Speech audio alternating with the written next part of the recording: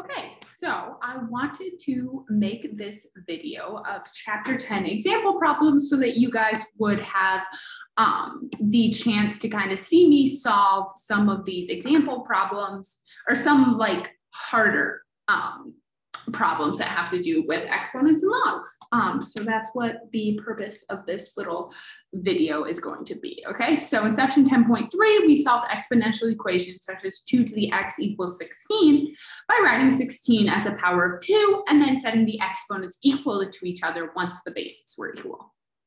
But it turns out we can use logs to solve these types of problems. And it's a lot easier because, or at least I like it better because you're not at the point where you have like 2 to the x equals 16 and you're just like figuring out what x is. And it's kind of like math, like mumbo jumbo. Um, using logs makes a lot more sense to me. So we are going to do some example problems. So first up, we have solve log base 4 of x minus 2 equals 2.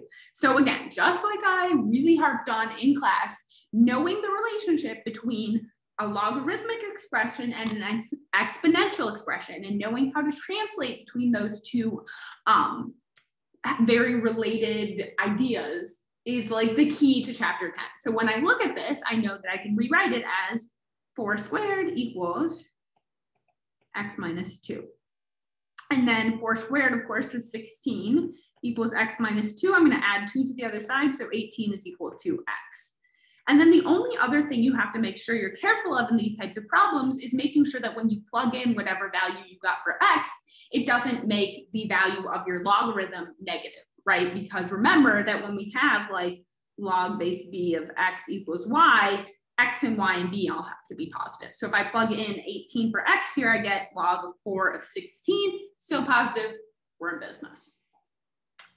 All right, next up, let's solve log base 2 of x plus log base 2 of x minus 1 equals 1, okay? So here I'm going to use my product property, which I know says that when I have addition of two logarithmic expressions that have the same base, I can change this into log base 2 of x times x minus 1. I can multiply together the things that I'm taking the log of, and that's going to be equal to 1.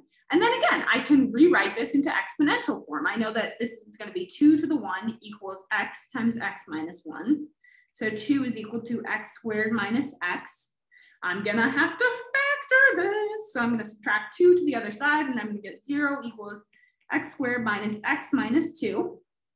And then, of course, to factor, I'm going to have 0 is equal to, um, thankfully, this guy is not too bad to factor, and so I get 0 is equal to x minus 2 times x plus 1, 1. So then I know is x equals 2 and x equals negative 1. However, if I plug in negative one, I'm gonna have log base two of negative one, which of course is a no-go. So I cannot have negative one as a solution, but if I plug in two, I have log base two of two and log base two of two minus one, which is of course log base two of one. So I'm good there and good there. So x equals two is a good solution. All right, and then last up, I have log of x plus 2 minus log of x equals 2. And of course, there's an implied base of 10 there. Um, when we don't have a base written, it is 10. Um, and so I'm going to actually just write that in there so that it's not implied anymore. It's explicit.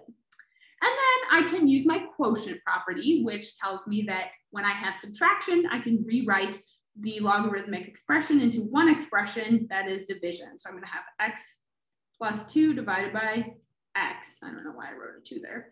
Divided by x equals 2. And then again, I can write 10 squared equals x plus 2 over x. 10 squared is 100. So I have 100 equals x plus 2 over x.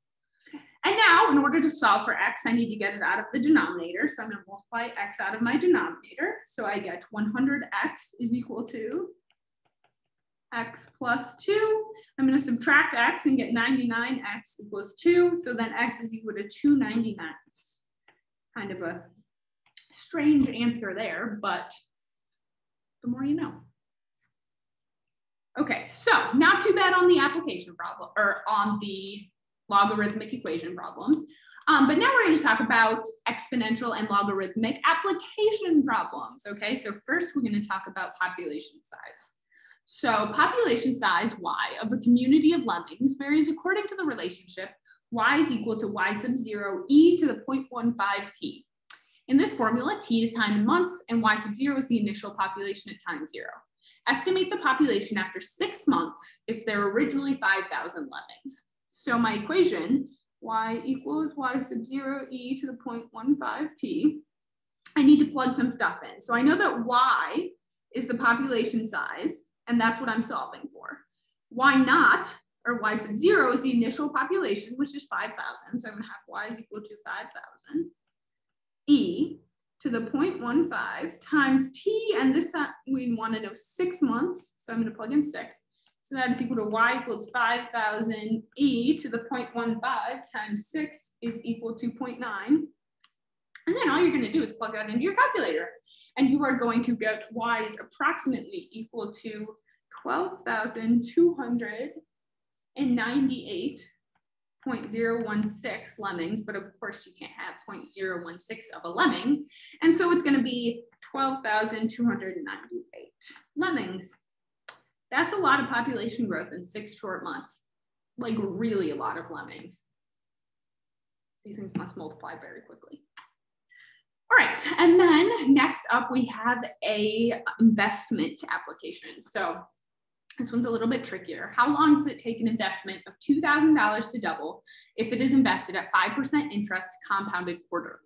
We have our necessary formula and um, I have a little explanation there of what each variable is. On the test, I will give you the formula, but I'm not gonna tell you which one is for compound interest and which one is for, um, um, what is it called? When you have,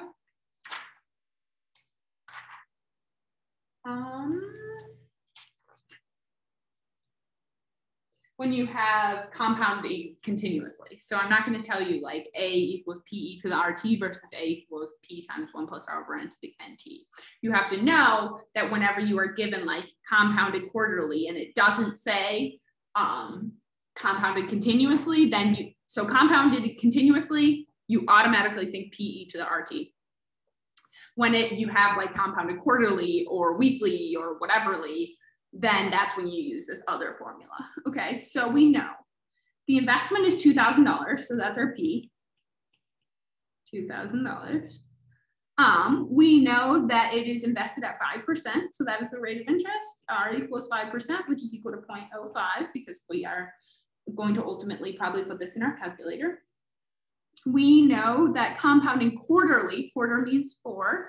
And so we know that R is equal to, or excuse me, N is equal to four, number of times that is compounded per year, quarterly, four.